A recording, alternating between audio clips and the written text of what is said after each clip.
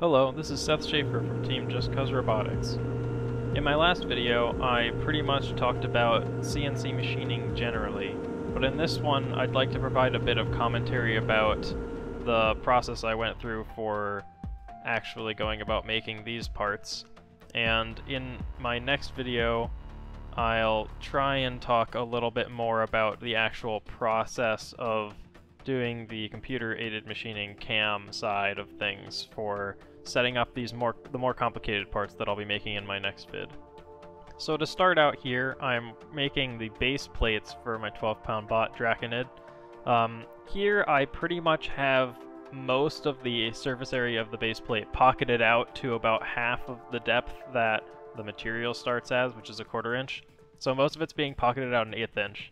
And I'm using a half inch cutter to do the bulk of this work because even with such a large diameter cutter where I can make a full depth pass and get rid of material pretty quickly, this is still pretty time intensive. I think it took about uh, 10 minutes or so with the half inch cutter and then I clean up here with a 6mm cutter because this way I can get sharper corners and remove a bit more material from the corners here and also just generally get the part to look a little bit nicer.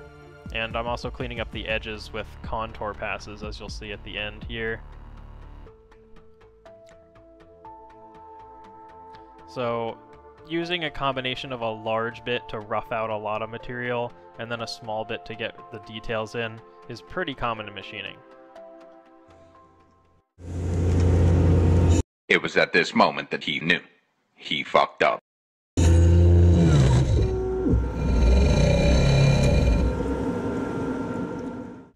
It was at this moment that I realized I had just put a drill in the tool holder, and in my cam I programmed that tool in as tool number 49, but when I was setting the tool height for it, I entered it into tool 39. Um, so that horrible crash was the result of that. Fortunately, all I ended up with was the hole being a bit ovaloid on the reverse side, and the part was actually not bent and was otherwise pretty much perfectly usable, so here you can see I am checking with my largest tool, which is the half inch tool, basically just to make sure that its zero point is still actually touching the part. And I, prior to that, actually readjusted the drill because it got pushed up into the tool holder a little bit, so I basically just reset it to its original programmed length. The drill didn't break or bend or anything, so it was actually not very long to recover from this. All of the footage that you're seeing in this entire video, by the way, is being played back at exactly 12 times speed, other than where it's playing, obviously, at real-time speed with audio, so you can tell exactly how long this all took. I think for my last video I had about 3 hours of footage condensed into 11-ish minutes. This video was closer to four and a half hours of footage. So, yeah, that puts things probably in perspective. Um, right now, what I'm doing is I first kind of roughed out a couple contour passes into what will eventually be countersinks using this eighth inch carbide bit. I did that basically just to put a bit of a lighter load on my chamfering tool, which I'll eventually be using to finish up all of the countersinks for these screws. And then I am milling in all of the screw pockets for the motor mount. And then the uh, actual slots for the screws beneath that. So I'm using basically a counterbore slot for each of the screws. I did make one small mistake when designing this part though. The central slot is where a little bit of the stub of the shaft of the motor sticks through. Um, and I gave it plenty of space for just the little bit of shaft on the motor, which is a 5mm shaft.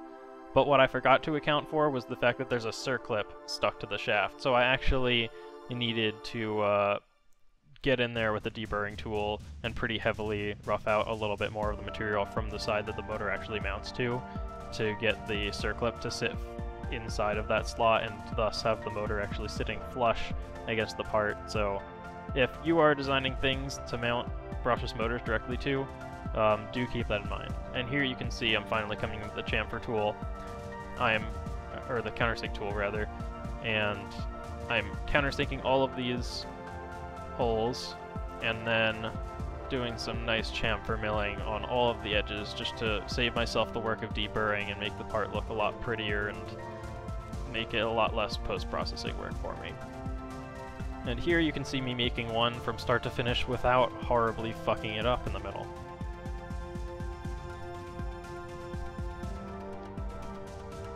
So again, pretty much just roughing out material as fast as possible with this half-inch tool before coming in with the 6mm tool and sharpening all the corners, cleaning up all the edges.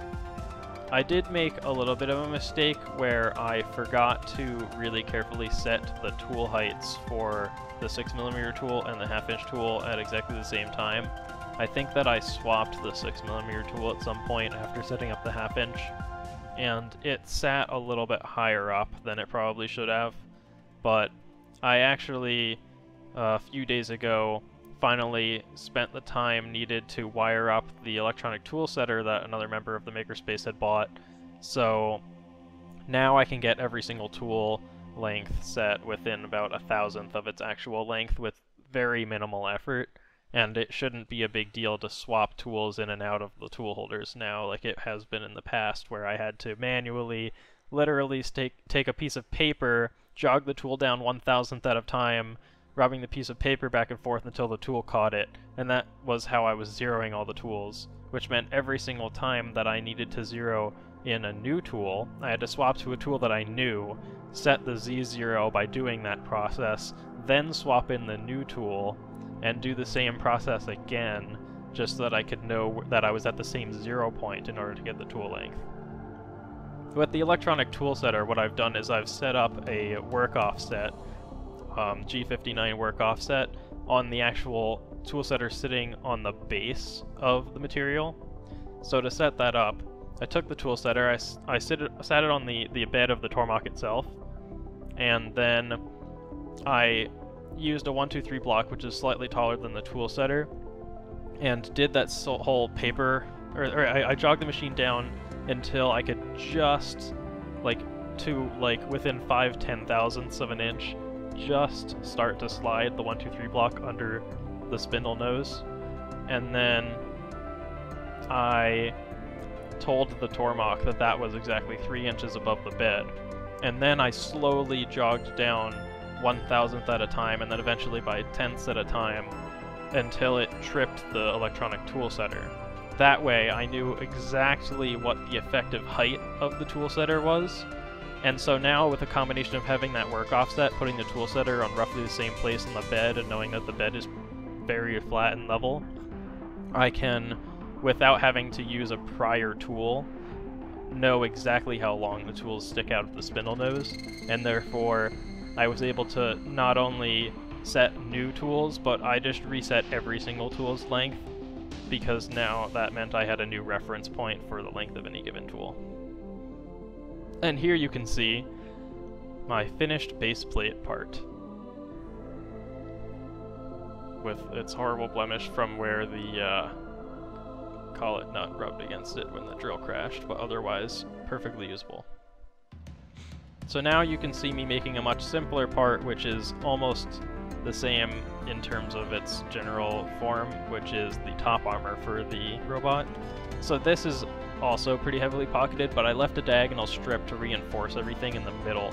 So the diagonal portion is only pocketed down about a 16th of an inch, and then you can see most of the material is still being removed to about an eighth of an inch. And again, I'm using the half inch tool to hog out as much material as fast as possible because this would take absolutely ages with the 6mm tool doing all of the work. And then again, I'm going to come in with the 6mm tool and clean up everything. this was around the point that I really noticed the uh, difference in height between what the 6mm tool was supposed to be and what it actually was, because there's actually a pretty visible ridge where the 6mm tool is coming into the corners of material that's left where it should have been taken away, since the 6mm tool was like slightly shorter than the machine thought it was. Here I didn't actually decide to spend time with the um, 8mm tool, or sorry, the uh, 8th inch tool, cleaning up all of the holes first. I pretty much just was like, screw it, and decided I would use the chamfering tool as intended and just hog out all of the material at a slower feed rate and uh, do the entire countersink at once.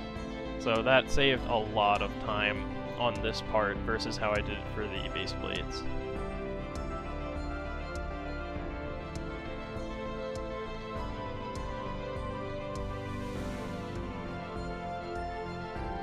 I did use the 8th inch tool to uh, do the holes for where eventually an N-Bots power switch will be.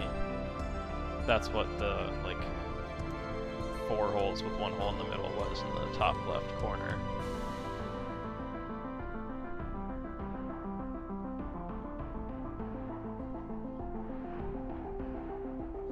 So again, swapping in the 6mm tool, cleaning up all of the corners. This time I didn't bother, I think, with a full contour pass because I wanted this to be faster. And then this is drilling with the number 9 drill bit, which provides clearance holes for all my 1024 screws. Drilling is like many, many times faster than boring with the eighth inch tool, which is what I did in a lot of the parts of my first video, just because those holes were blind holes, so it's a little bit trickier to get your settings just right for drilling, and there's a better chance that the chips will clog and uh, rip the drill in half.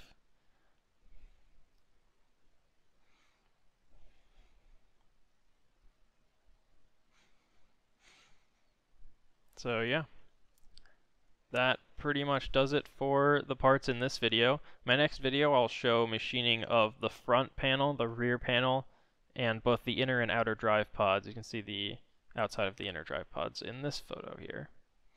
Thank you all for watching, and feel free to come back for more content in my next video, which I'll try and release next week. I'm also going to be competing at Norwalk Havoc on January 18th, so I'll try and get a fight recap video up on Sunday after that competition.